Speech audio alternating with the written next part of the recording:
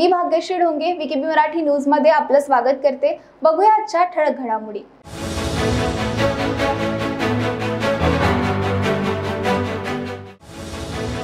अयोध्येत महाराष्ट्र सदनासाठी जागा मागणार आदित्य ठाकरे यांचे वक्तव्य. आम्ही पहिले मंदिर ते सरकारची घोषणा दिली होती या शब्दाचा केला पुनरुच्चार.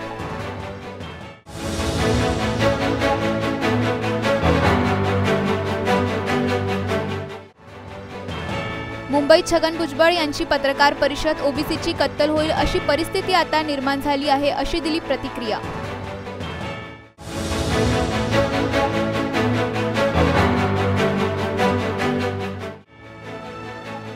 जालन्यात अजूनही पाण्याची टंचाई असल्याने करण्यात आली जल आक्रोश मोर्चाची सुरुवात.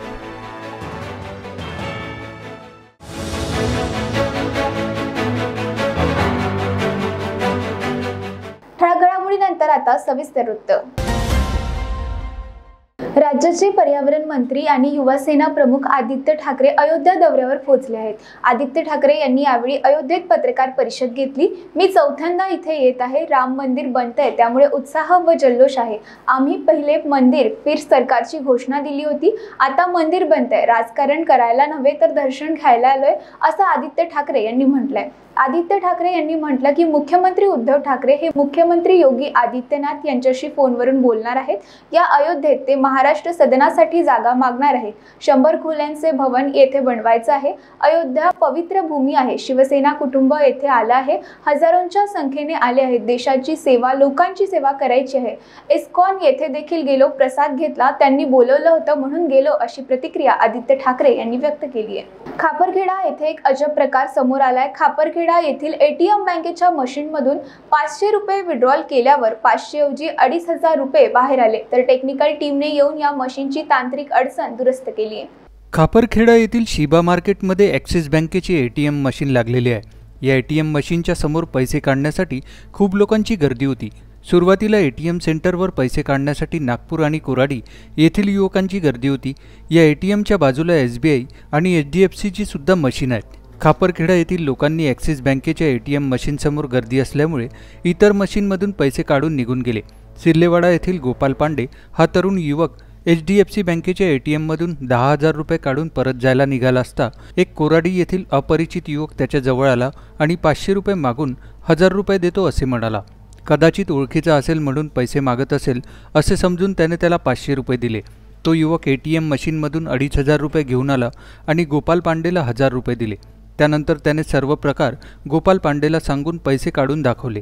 तोवर ही बातमी लोकमतचे खापरखेडा प्रतिनिधी अरुण महाजन यांना कळाली. गोपाल पांडे यांनी अरुण महाजन यांना डेमो करून दाखवला. अरुण महाजन यांनी खापरखेडा पोलिसांना बोलावून सत्य हकीकत अवगत करून दिल्यावर याची माहिती A P I Deepak Kankredwar यांनी पोलीस कंट्रोल रूमला माहिती दिली आणि ए टी एम मशीनच्या रूमचे शटर खाली पडून पोलीस कर्मचारी श्याम रामटेके याला तैनात करण्यात आले. यावेळी पोटा ग्रामपंचायतचे सरपंच पवन धुर्वे आणि सामाजिक कार्यकर्ता आशिष राऊतही उपस्थित होते. रात्रीचे तीन वाजेपर्यंत नागपूर कोराडी आणि खापरखेडा परिसरातील युवक या ए टी एम सेंटरला पैसे काढण्यासाठी आली. मात्र पोलीस बंदोबस्त असल्यामुळे आले तसे रिकामे परत गेले. आज सकाळी कंपनीची टेक्निकल टीम आली. त्यांनी मशीनमध्ये आलेल्या तांत्रिक अडचणी दूर केल्या. पैसे काढलेले ए टी एम धारकाचा डाटा काढून त्यांच्याकडून पैसे वसूल करण्यात येईल. पोलीस स्टेशन येथे तक्रार दाखल करण्यात येणार असे कंपनीच्या व्यक्तीने सांगितले. व्ही के बी न्यूजसाठी कामठी येथून नितीन रावेकर यांची report. Celebrity chef Vishnu Manohar यांच्यातर्फे शहरात ट्रान्सजेंडर लोकांसाठी खास पाककला स्पर्धा आयोजित करण्यात आली होती ज्यामध्ये विविध शहरातील ट्रान्सजेंडर सहभागी झाले होते. या स्पर्धेच्या प्राथमिक फेरीतून काही जणांची निवड करून त्यांना नागपुरात अंतिम फेरीसाठी आमंत्रित करण्यात आले होते.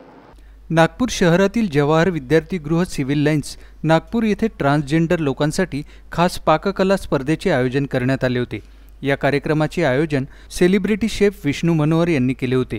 ट्रान्सजेंडरना साधारण व्यक्तीप्रमाणे एकत्र काम करण्याची संधी मिळावी आणि ते त्यांची वैशिष्ट्ये जगासमोर आणू शकतील हा त्यामागचा मुख्य उद्देश होता. या स्पर्धेत दूरवरून ट्रान्सजेंडर सहभागी झाले होते. या स्पर्धेची प्राथमिक फेरी नागपूर नाशिक औरंगाबाद मुंबई आणि पुणे येथे पार पडली.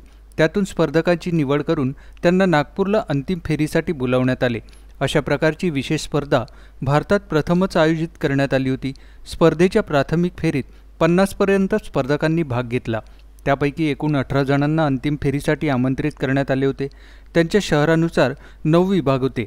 सहभागींना मुख्यतः दोन पाककृती तयार करण्यासाठी एक तास पंधरा मिनिटांचा वेळ देण्यात आला होता ज्याची चाचणी पाच जजेसने केली होती. नमस्कार मित्रांनो. आज ज्या ठिकाणी सध्या मी उभा आहे हे जागा अनेक गोष्टींना वैशिष्ट्यपूर्ण आहे. आता इथे छानपैकी खमंग वास सुटलेला आहे वेगवेगळ्या पदार्थांचा वाससुद्धा येतो आहे आणि ज्यामधनं माहिती पडते की ते खूप सुंदर वस्तू बनलेल्या आहे माझ्या मागे तुम्ही बघू शकता की अनेक जणं वेगवेगळ्या प्रोडक्ट्स बनवतात आहे. पण नेमके ते प्रोडक्ट काय आहेत आणि मुख्यत्वे म्हणजे बनवणारे कोण आहे प्रत्येक गोष्टीमध्ये आज वेगवेगळ्या जागेतली लोक आपल्यासमोर येऊन आपापल्या पद्धतीनं स्वतःचा विकास करतात आहे आणि त्यातही यात तृतीयपंथीसुद्धा कुठेही मागे नाही. आणि अशीच एक स्थिती आणि अशीच एक गोष्ट इथे सुद्धा होते. विष्णू मनोहर जे नागपुरातले सेलिब्रिटी शेफ आहेत त्यांच्या माध्यमातून इथे एक सुंदर प्र- प्रतियोगिता आयोजित करण्यात आली आहे ज्याचं नाव आहे ट्रान्सकुक कॉकरी कॉम्पिटिशन आणि या कॉम्पिटिशनच्या माध्यमातून अनेक गोष्टी इथे तुम्हाला दिसायला मिळतील. जर माझ्या मागे आपण बघू शकता की इथे सगळे जे तृतीयपंथी आहेत ते वेगवेगळे प्रोडक्ट्स बनवून स्वतःची जबाबदारी इथे दाखवतात आहे. इथे बघूया आपण नेमकं काय बनताय. इथे अ, नुकतीच आता कढी बनते आहे पण ती नेमकी काय आहे? इथे काय बनवताय तुम्ही? ही कढी आहे. ॲक्च्युली एका थोडं गरम करून घ्यावं म्हटलं आता. आता मला सजवायचं आहे माझं ताट. माझी प्लेट सजणार आता. आणि मी आता माझा व्हेज पुलाव बनवून झालेला आहे. सगळ्या माझ्या डिशेस बनवून झालेली आहे. आता मी ते सगळ्यांना सर्व करणार. ओके नक्कीच. वास खूप छान येतो म्हणजे काहीतरी छान बनतं आहे ऑल द बेस्ट तर बघू शकता तुम्ही की यांच्यात एक वेगळं पण आहे वेगळं पण यासाठी की आम्ही कोणत्याही गोष्टीत कमी नाही हे सांगण्याचा एक छोटासा प्रयत्न. आणि या गोष्टीतून एक गोष्ट समोर ही पण येते आहे की बनवताना त्यांच्या चेहऱ्यावरचा आनंदसुद्धा दिसतोय. या माझ्यासोबत आणखी काही आपण दाखवूया. नमस्कार. आपण डिस्टर्ब नाही करताय तुम्हाला? नाही तुम्ही डिस्टर्ब बिलकुल नाही करत आहे. मला सांगा मी नेमकं काय बनवता नेमकं काय बघा बघा मी बनवलं आहे पहाडी पनीर म्हणजे हराभरा पनीर बनवलेलं आहे. साजूक तुपातला शिरा जो आपला मराठी माणसांचा खूप फेमस असतो. माझं नाव मयुरी आहे मयुरी सुर्वे. मी मुंबईतून आली आहे. प्रॉपर मी दापोलीची आहे त्याच्यामुळे साजूक तुपातला शिरा म्हणजे मी विसरूच नाही शकत. आणि प्रत्येक मराठी माणसाची आवड आहे ती आणि ते असं म्हणता येईल की त्या ती गोष्ट नसली तर कुठे ना कुठे ती गोष्ट मनाला खुपते कामाला आपण ज- जेव्हा एखाद्या शुभ कार्याला आपण सुरुवात करतो तर आपल्याकडे शिरा किंवा शिरा नसेल तर आपण दही साखरेपासून करतो पण माझ्याकडे ऑप्शनला होतं. त्याच्यामुळे मी शिरा बनवते. या कॉम्पिटिशनविषयी कसं माहिती पडलं आपल्याला? आपण एवढ्या दुरून आलेले आहात आणि एकंदरीत म्हणजे विष्णूजींसोबत काही संपर्कात होत्या की कसं काय म्हणजे कसं माहिती पडलं? हे बघा विष्णूजींना कोण नाही ओळखत तेवढे मोठे शेफ आहेत. मी या कॉम्पिटिशनमध्ये येण्याचं माध्यम म्हणजे माझी फ्रेंड श्रीदेवी. हिने मला सांगितलं आहे बघा असं तर आपण घरी सगळ्यांसाठी जेवण एकमेकांसाठी फॅमिली मेंबर्ससाठी किंवा फ्रेंडसाठी बनवतच असतो. पण कॉम्पिटिशनमध्ये बनवणं हे काहीतरी वेगळं होतं तर हिने मला सजेस्ट केलं की हिने तसं तर माझ्या हाताचं भरपूर वेळा खाल्लेलं तर हिला माझ्या वेगवेगळ्या डिशेस आवडत राहतात. ही बोली तू कर तू करू शकतेस. म्हणून मी इकडे आणि ऑल थँक्स टू विष्णूजी एवढा मोठा प्लॅटफॉर्म दिला एवढी लोक येत आहेत बोलत आहेत न्यूजवाले येत आहेत बोलतात. मला खूप बरं वाटतंय. ह्याचा रिझल्ट काही असेल मी ऑलरेडी जिंकलेली आहे. मी इथपर्यंत पोहोचली. हीच माझी हेच माझी सगळ्यात मोठी आपण हिंदीत बोलतो ना ही मेरी सबसे बडी जीत आहे. तर माझी सगळ्यात मोठी जीत हीच आहे की मी इथपर्यंत पोहोचले आतापर्यंत लोकांनी फक्त एक दुर्लक्षित समाज किंवा वेगळ्या दृष्टिकोनाने बघितलं. विष्णूजीने एक ऑपॉर्च्युनिटी दिली की काहीतरी आपण वेगळ्या दृष्टिकोनाने ह्यांना बघता येईल. मला एवढंच बोलायचं आहे. आणि ऑल ऑल थँक्यू थँक्यू सगळ्यांना. खूप खूप थँक्यू थँक्यू मॅम आणि नक्कीच तुमचं पदार्थ काही ना काही चांगलं असेलच कारण की जो सुंदर शिरा आपला दिसला मी कॅमेरामॅनला सांगू इच्छितो की हा शिरा एकदा त्यांनी दाखवावा. बघा एकदम मराठी माणसाच्या घरात आवर्जून बनवली जाणारी गोष्ट म्हणजे साजूक तुपातला शिरा. या गोष्टीविषयी आणि या शिऱ्याविषयी सांगावं तेवढं कमी पण निश्चितपणे आज इथे तो आणखी स्पेशल आहे कारण की या लोकांमार्फत तो बनला गेला आहे आपण जाऊया आणि विष्णूजींच्या मार्फत थोडंसं आपण बोलण्याचा प्रयत्न करूया कारण इथे खूप गर्दी आहे एकंदरीत आणि सगळेजण आपापल्या कामात बिझी आहे. शेवटची दहा मिनटं राहिलेली आहेत. विष्णू सर वेळात वेळ काढून थोडासा त्रास तुम्हाला देतोय. या कॉम्पिटिशन वी कसं काय सुचलं तुम्हाला? हा कॉम्पिटिशन म्हणजे मी पुण्यामध्ये एका ब- स्टॉपवर असताना स्टॉपला उभा असताना एक ट्रान्सजेंडर समोर आला आणि त्यांना पैसे देण्यासाठी म्हणून मी काच खाली केल्याबरोबर त्या इतकं त्यांनी स्वीट स्माईल दिला आणि म्हणजे तुम्ही विष्णूजी आहे ना आम्ही तुमची रेसिपीज बनवून बघतो. आणि मग म्हटलं अरे यार हे स हेही सामान्य माणसंच आहेत सगळे. आणि उगाच आपण ह्यांना म्हणजे झिडकारतो तर त्यापेक्षा आपल्यामध्ये ह्यांना जर सोबत काम करायला घेतलं तर चांगलं वाटेल. आणि म्हणून मग ही स्पर्धा घेण्यात आली. सर तो व्हिडिओ आम्ही सुद्धा बघितला आहे सोशल मीडियावर तुफान तो व्हायरल सुद्धा झाला होता. एकंदरीत स्पर्धा घ्यावी तीही अशी स्पर्धा आणि तीही नागपुरात. म्हणजे मुंबईवरनं सुद्धा लोक इथे आलेले आहेत. दुरून दुरून लोक आलेले आहेत. ही संकल्पना कशी जुळून आली तो योग कसा जुळून आला योग कसा नाही? मग म्हटलं फक्त नागपूरपुरतं मर्यादित न राहता सगळ्या सिटीजमध्ये मी फिरत असतो. आणि म्हणून मी पहिलं नागपूर नाशिक औरंगाबाद मुंबई आणि पुणे या या शहरांची निवड केली. आणि तिथून मग पहिला प्रायमरी राऊंड घेऊन मग या स्पर्धकांना फायनली नागपूरला आणलं की नागपूर हे मध्य भारताचं स्थान आहे. आणि भारतात अशी पहिल्यांदा स्पर्धा होती आहे आणि म्हणून मग म्हटलं की इथून याची सुरुवात करावी. अगदीच. आणि एक गोष्ट मलाही आवर्जून आवडली होते. आता तुम्ही या क्षेत्रातले एक्सपर्ट आहात. खूपशा गोष्टी बनतात. आम्हाला छान सुगंधित सेंट तिथे यायला लागलेला आहे की काही ना काही छान बनतं आहे तुमचा अनुभव कसा होता एकंदरीत आतापर्यंत? माझा अनुभव तर प्रायमरी राऊंडमध्येच खूप छान होता कारण इतकं छान छान घरनी घरून बनवून आणलं होतं. आणि नंतर आता मात्र इथे आल्यावर असं दिसलं की कल्पनाही केली नाही. एवढे छान छान रेसिपी इथे तयार आहेत. आणि मराठमोळ्या शिऱ्यापासनं तर पुलावपर्यंत पराठ्यांपासनं तर सगळ्या वेगवेगळ्या डिशेसपर्यंत सगळं इथे दिसत आहे. बरोबर. सर याचं टेस्टिंग कसं केलं जाणार आहे आणि किती लोक आहेत सहभागी आहेत? जरा इथे टेक्निकल बाबी थोडा सांगून द्या. पन्नासच्या वर सहभागी होते प्रायम प्रायमरी राऊंडला नंतर आता अठरा लोक याच्यामध्ये फायनल राऊंडला आहेत. नऊ विभाग यांचे करण्यात आले आहेत शहरानुसार. आणि दोन दोन रेसिपीज यांना दिल्या होत्या बनवायला. त्याशिवाय यांनी जर काही बनवलं असेल तर चांगलंच आहे. आणि तो त्यांनी प्रयत्नसुद्धा केलेला आहे. एक तास पंधरा मिनटं यांना वेळ दिली होती.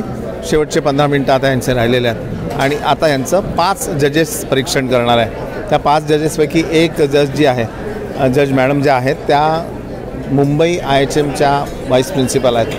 आणि त्या आमच्याबरोबर आहेत. सर या स्पर्धेसाठी मुळात मनापासून तुम्हाला शुभेच्छा कारण इतकं युनिक ट्रेंड तुम्ही समोर आणला. या स्पर्धा अशा आणखी व्हाव्या आणि भविष्यात एखादी ट्रान्सजेंडर सेलिब्रिटी शेफसुद्धा व्हावी अशी अपेक्षा असावी क्या बात आहे. हा तर खरंच खूप छान आहे. आणि ती सुरुवात झाली आहे असं म्हणता येईल. कारण पंजाबमध्ये परवा एका ट्रान्सजेंडर शेफने एक व्हिडिओ मला पाठवला. आणि ही मंडळीसुद्धा शेफच आहेत. छान शेफ कोट कॅप घातलेला आहे यांनी. आणि छान काम करतायत आपलं. Thank you thank you. Thank you very much तर हे होते विष्णू मनोहर सर जे आपल्याला माहिती देत होते या संपूर्ण स्पर्धेविषयी. मित्रांनो एक गोष्ट यामध्ये सर्वात महत्त्वाची आणि सगळ्यात खास आहे की एका दुर्लक्षित समाजाला एकत्रित आणण्याचा हा सुंदर प्रयत्न आहे. जो प्रयत्न इथे झालेला आहे आणि तो एका छान खवय्यांच्या भूमिकेतून झालेला आहे. कारण इथे खवय्ये जे आहेत ते सर्वसामान्य लोक आहेत पण बनवणारे मात्र स्पेशल आहेत. Cameraman रोशनसह Nilesh Pharkade V K B न्यूजसाठी छगन भुजबळ यांनी मुंबई येथे झालेल्या पत्रकार परिषदेत आपले मत मांडताना म्हटलंय ओबीसी समाजाच्या जीवनाचा विषय आहे. देवेंद्र फडणवीस यांनी जे आरोप केले आहेत ते यंत्रणेने तपासून घ्यायला हवे. शरद पवार यांनी राष्ट्रपती पदासाठी नकार दिला आहे अशी माहिती आहे. रोज विरोधी पक्षाच्या नेत्यांवर धाडी सुरू आहेत. हे रोजचं झालंय. राहुल गांधी यांना तीन दिवस सलग चौकशीसाठी बोलवण्यात येत आहे. देशासाठी ज्यांनी जीवन अर्पण केलं त्यांना चौकशीसाठी बोलवण्यात येत आहे हे दुर्दैवी आहे. तसेच आज कॅबिनेट मंत्री आदित्य ठाकरे अयोध्या दौऱ्यावर आहेत. त्यावेळी छगन भुजबळ म्हणाले आम्ही एकत्र आलो त्यावेळी त्यांनी आपापली आयडिओलॉजी सोडा असं आम्ही बोललो नाही. त्यामुळे कोणी कुठं जायचं तो त्यांचा अधिकार आहे. जाधव आहेत. माझी स्वतःची सासूरवाडी जाधव आहे तर अशा रीतीने उ- फक्त सरनेमवर जाऊन घरात बसून जर कोणी काय करत असेल तर हे चुकीचे आकडे येतील. आणि चुकीचे आकडे केवळ ह्या आरक्षणासाठी नाही सर्व प्रकारच्या पुढच्या आरक्षणासाठी हा ओबीसींवर फार मोठा अडचणीचा विषय ठरेल. ओबीसी कत्तल होऊन जाईल. कत्तल होईल. कोण किती सिरियस घेतं मला काही कल्पना नाही आहे परंतु ठीक आहे तो वर्तमानपत्रातून आल्यानंतर जे ओबीसीच्या कामाला वाहून घेतलेल्या संघटना आहेत त्या आपल्या आवाज उठवणार. किंवा हे तुम्ही नीट करा. हे अडचण कारण हे फक्त राजकीय आरक्षणासाठी नाही याचा उपयोग पुढे शिक्षण आणि इतर जे तुमच्या नोकरीच्या आरक्षणाच्या संदर्भामध्ये सुद्धा याचा मोठा परिणाम होणार आहे. आणि त्यासाठी जे आहे याचं योग्य परीक्षण झालं पाहिजे. योग्य रीतीनं हा डाटा निर्माण झाला पाहिजे अशी सगळ्यांची मागणी आहे. आणि त्याप्रमाणे सगळ्यांनी करावं. मी अजित मी मुख्यमंत्र्यांना पण पत्र पाठवलं अजितदादांना पण त्यांच्याशी बोललो. अजितदादा म्हणाले मी मुख्यमंत्र्यांना सुद्धा जाऊन सांगतो. मग त्यांनी आता ते लक्ष द्यावं ते काय चाललेलं आहे नक्की कुठल्या पद्धतीनं ते गोळा करता आहे. आम्ही एकत्र आलो त्यावेळेला प्रत्येकाने आपापली आयडियालॉजी सोडा असं काही आम्ही म्हटलं नाही. कोणी कुठल्या देवाची पूजा करावी कुठल्या धर्मस्थानाला जा कोण बद्रीनाथला जातील कोण केदारनाथला जातील कोण त्या अयोध्याला जातील हा त्यांच्या त्यांच्या हा पक्षाचा प्रश्न आहे. काय आणि तो हां दुसऱ्यांवर जे आहे लोकशाहीमध्ये आपण अतिक्रम करायचं नाही. दुसऱ्याचे समाजाला ते बाबासाहेब आंबेडकरांचं संविधान आहे की सगळ्यांना सारखा अधिकार आहे या देशामध्ये बोलण्याचा काम करण्याचा शिक्षणाचा उद्योगधंदा करण्याचा. आणि त्याप्रमाणे सगळे वागतात. तर याच्यामध्ये काय आमचं असं ठरलं की तुम्ही ह्या देवाला जाऊ नका आणि त्या देवाला जाऊ नका. असं काय आमच्यात काय ठरलेलं नाही. वेळ झाली आता एका छोट्याशा विश्रांतीची. भेटूया विश्रांतीनंतर. बाय सब जानना चाहते हैं। मेरा फेवरेट कलर मेरा फेवरेट डेस्टिनेशन मेरी फेवरेट डिश पर कोई ये नहीं पूछता कि फेवरेट डिश मैं बनाती कैसे हूँ। अरे यार जिसे टेस्टी खाना पसंद है वो अच्छे टेस्ट तक पहुँच ही जाता है। सुरुचि मसाले। खाने में हो रुचि तो घर लाइए सुरुचि। अपने सपनों की उड़ान भरने की इच्छा तो हर किसी की होती है। पर पंख भी तो मज़बूत होने चाहिए। जो देता है Flywheel aviation academy Flywheel aviation academy एक ऐसा इंस्टीट्यूट है जहाँ पर एयरलाइंस एंड एयरपोर्ट हॉस्पिटैलिटी और टूरिज़्म मैनेजमेंट साथ ही यहाँ campus interview guidance by industry expert practical training at airport expert faculty personal grooming जैसे कई सारे बेनिफिट्स आप पा सकते हैं। Flywheel aviation academy one degree three job opportunities Flywheel aviation academy gives you a degree और diploma with a job Flywheel aviation academy 365 Gandhinagar LAD college square beside Karnataka bank Nagpur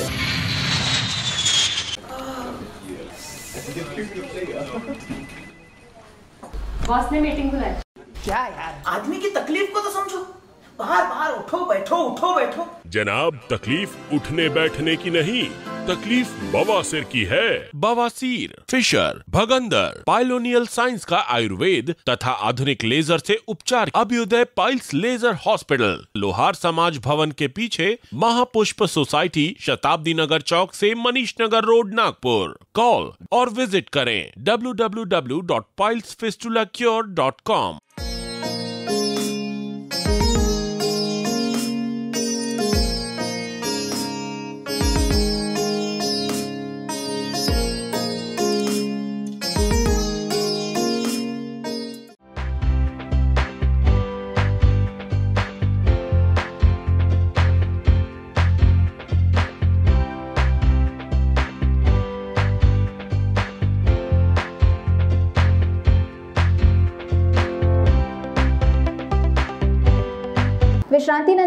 स्वागत. अकोल्यात काँग्रेसचा रस्ता रोको आंदोलन करण्यात आलंय. राहुल गांधी यांना ईडीच्या कार्यालयात पुन्हा बोलवल्यामुळे काँग्रेस कार्यकर्त्यांनी आक्रमक होऊन शहरातल्या धिंगरा चौकात रस्ता रोको आंदोलन केलंय. हे आंदोलन काँग्रेसचे जिल्हाध्यक्ष डॉक्टर संदीप वानखेडे यांच्या नेतृत्वाखाली केले गेले. पोलिसांनी आंदोलनकर्त्या काँग्रेस कार्यकर्त्यांना अटक केली आहे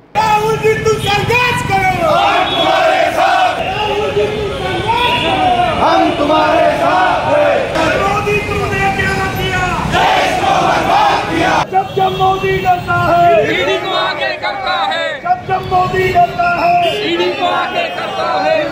राष्ट्रीय नेते माननीय श्री राहुलजी गांधी यांना सलग तिसऱ्या दिवशी ईडीने चौकशी करता बोलवलं आहे याच्या निषेधार्थ आज आम्ही अकोला शहर शहर जिल्हा काँग्रेस कमिटीच्या वतीने इथे हे रास्ता रोको आंदोलन ठेवण्यात आले आहे. तर याच्यापुढे पण मोदीची आणि भाजप सरकारची तानाशाही याच पद्धतीची चालत राहिली तर हे आंदोलन अजून तीव्र करू हे आज इथे सांगू इच्छितो. नागपूर शहराचे माजी शहराध्यक्ष शेख हुसेन जेथे सर्व नेत्यांनी काँग्रेसवर व राहुल गांधींना ईडीने पाठवण्यात आलेल्या नोटीसवर सर्वांनी भाषणे केली. आणि आमचे माजी अध्यक्ष शेख हुसेन पन्नास वर्षे काँग्रेसचे काम करत आहे. त्यामुळे त्यांनी जे भाषण दिले ते एक वाक्य प्रचार म्हणून होते. त्यात कोणालाही धमकीचा संदेश नव्हता अशी प्रतिक्रिया काँग्रेस नेते तौसिफ खान यांनी दिली आहे. देखिए हमारे जो नागपुर शहर के पूर्व अध्यक्ष हाजी शेख हुसैन साहब उन्होंने कांग्रेस के हित में जो कहा, जो वहाँ पर सभी नेताओं ने कांग्रेस को, जो राहुल गांधी जी के ऊपर में ईडी के लिए नोटिस गया, राहुल गांधी जी को ईडी के ऑफ़िस में बुलाया गया और उस पर सभी ने भाषण दिया। और हमारे जो अध्यक्ष, हमारे पूर्व अध्यक्ष हाजी शेख साहब जो पुराने पिछले पचास साल से कांग्रेस के लिए काम करते आ रहे हैं। तो ये जो भाषण उन्होंने दिया तो उन्होंने एक मुहावरे जो उन्हें कहा, वो मुहावरे के तौर पे कहा। वो किसी को मतलब धमकी भरा और ये ऐसा कोई संदेश नहीं दिया, उन्होंने मुहावरे के तौर पे कहा। हाँ बिल्कुल ये पॉलिटिकल स्टंट है, ऐसी कोई बात नहीं हुई कि जिस, इतना उसको आक्रोश दिखाना चाहिए उस बात को लेके। मुझे नहीं लगता इन्होंने एक इसको राजनीति मुद्दा बनाते हुए और नागपुर शहर का एक माहौल ख़राब करने की कोशिश की है बीजेपी ने। जो आज इतना तीन चार सौ का मजमा जो हाजी शेख हुसैन के खिलाफ में जो कंप्लेंट करने की कोशिश कर रहे हैं यहाँ पर। और रही बात राहुल गांधी जी की, अगर राहुल गांधी गांधी परिवार के ऊपर में अगर जरासी भी आ जाएँगी तो हम पूरे कांग्रेसी हमारे शहर अध्यक्ष विकास ठाकरे के नेतृत्व में, हाजी शेख हुसैन के नेतृत्व में, यहाँ पर विदर्भ के अंदर में, नागपुर शहर में एक इससे और बड़ा आंदोलन हम लोग रोड पे उतरेंगे और जोरदार इससे ज़्यादा आंदोलन हम करेंगे। और रही बात जो भाजपा भाजपा के जो नेता है, इनके ऊपर क्यों नहीं ये ईडी के नोटिस देते? क्यों सिर्फ़ कांग्रेस के नेताओं के ऊपर में, राष्ट्रवादी के कांग्रेस नेताओं के ऊपर में ये ईडी के नोटिस जारी करते? क्यों भाजपा के नेताओं के ऊपर नोटिस नहीं देते ये? इसका इसका तो सवाल आप लोगों ने भी करना चाहिए ना, मीडिया का भी काम है कि इसके ऊपर में सवाल उठाना चाहिए कि जनता, जब सिर्फ़ कांग्रेस और राष्ट्रवादी कांग्रेस ही आपको ईडी का नोटिस देने के लिए मिल रही है क्या? और गांधी परिवार के ऊपर आपने हिम्मत की उंगली उठाने की? ये छोटी बात नहीं है, ये देश के, पूरे देश का माहौल खराब करने की बात है ये। और हमारे कार्यकर्ता का आवाज़ उठाने के लिए खड़े होते हैं तो हमारे राष्ट्रीय अध्यक्ष श्रीनिवास जी के ऊपर में इन लोगों ने खून खराबा किया, उनकी नाक से खून निकला, उनको घसीटा गया, रोड पर मारा गया। ये ये दबाव है। ये भाजपा के जो बड़े नेता है, अमित शाह जी, जिनके जो गृह मंत्री है, ये पुलिस के हमारे कार्यकर्ता जब रोड पे उतरते हैं पुलिस को आगे करते हैं, उनसे लाठीचार्ज करवाते हैं। ये हमको दबाने की कोशिश करते हैं। नहीं, मैं ईडी के खिलाफ, जैसे हमारे नेता है सोनिया, हमारे नेता है सोनिया गांधी, राहुल गांधी, इनको ईडी ने जब नोटिस भेजा तो आज वो भी देश के नेता है। तो ये जो है, मोदी सरकार की जो नीति, समझ में नहीं आई, कि तो वो पंद्रह में भी क्लोज हो गया है वो मैटर और जिस देश को, जिस जिस खानदान ने यानी नब्बे परसेंट प्रॉपर्टी पूरे देश को दे दी, और जिस खानदान के इंदिरा गांधी, राहुल, राजीव गांधी दो दो बड़े नेता शहीद हुए, उस खानदान के खिलाफ में ईडी की नोटिस भेजना स्वाभाविक। हमारे जैसे कार्यकर्ताओं को गुस्सा आना और सभी कांग्रेस जनों को गुस्सा आना एक बहुत स्वाभाविक है। और जो कल जो ईडी के खिलाफ में जो वहाँ पर में सब जो अपने अपने अलग अलग बात रखे तो मेरे को भी भाषण हुआ। तो मैंने वही बात बोला।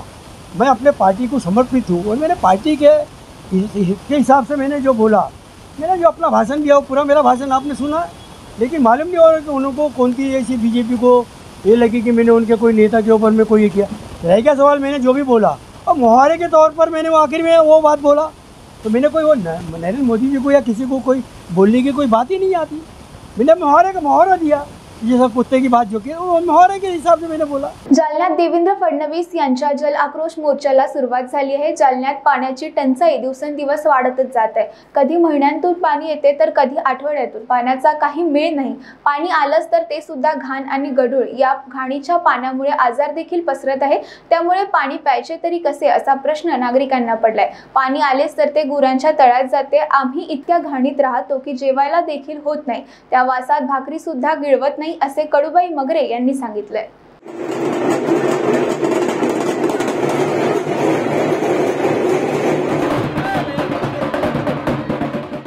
कधी महिन्यातून येतं तर कधी पंधरा दिवसातून येतं. त्या पाण्याचा काही मेळ नाही. मला बी तर सारं घाण येत आहे ते सारं म्हशी जमतो आणि. पाणी प्यायला ते म्हस्याळ लागतंय. काय करा? घरा महिल्यामध्ये स्वच्छता नाही. आम्ही इथं घालीत राहतो. लाल्याचं साबूर भोर घाण आहे इथली अशी भाकरी खा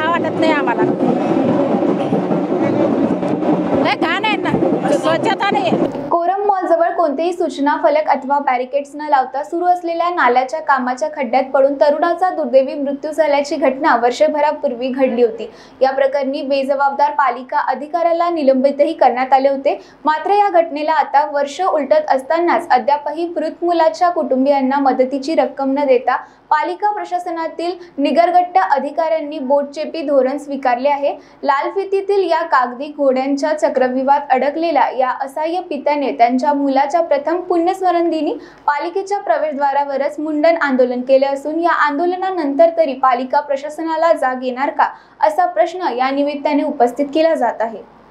ठाण्यातील कोरम मॉलजवळ नाल्याचे काम सुरू होते. या ठिकाणी पावसाचे पाणी साचले होते.